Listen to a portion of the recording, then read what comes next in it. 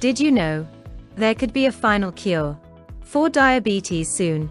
In 2021, Vertex Pharmaceutical announced its stem cell therapy research called VX880 that can act as a functional cure for type 1 diabetes. In phase 1, the company focused on an experimental pancreatic stem cell transplant on diabetic patients who volunteered for this research.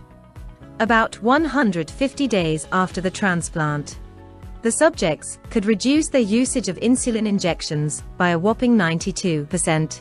The next few phases of this ongoing research will focus on overcoming the failures and challenges encountered during phase 1. We hope this research is successful and diabetics across the globe find a permanent cure for this disease. All the best to Vertex Pharmaceutical. For more information on diabetes management, subscribe to our channel and click the bell icon. Visit CanadianInsulin.com for more details.